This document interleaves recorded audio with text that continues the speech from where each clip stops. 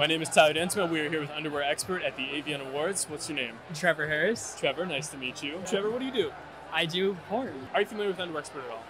I am, yes. So we are a company that sends custom boxes of underwear, subscription style. You get to customize your bo- uh, your style, colors, patterns, everything you like. You get to see a preview before it sends. What kind of underwear do you typically go for? I'm usually like a boxer brief kind of guy. Does size matter?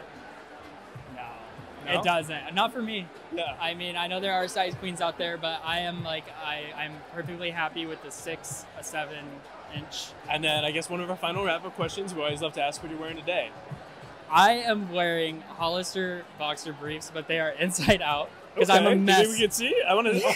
I want to. You, you put your underwear on inside out. But rushed morning, or is this like? No, they are really this? inside out. Like it has been a rush morning. That's and amazing. Here we are. Well, thank you so much for chatting with us today. Thank you.